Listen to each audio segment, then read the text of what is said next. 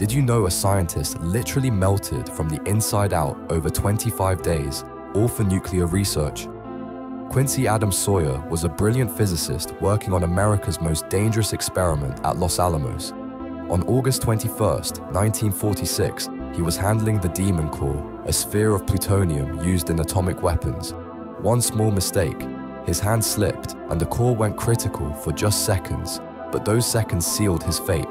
Within hours, his hands turned bright red and began swelling like balloons. The medical team knew he was already dead.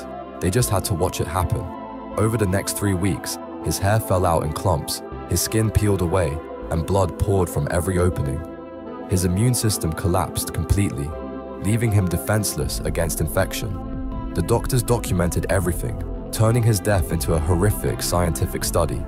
He remained conscious almost until the end, fully aware as his organs shut down one by one. He became the first human guinea pig for radiation poisoning research